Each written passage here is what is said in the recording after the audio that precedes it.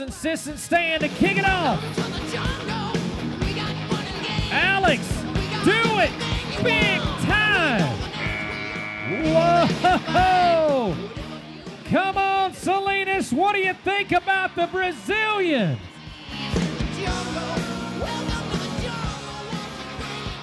He's number 13 in points for the Velocity Tour. Watch it back on the Salinas Toyota replay. You don't ride it much better than that. 87 and a half points for him. 87 and a half.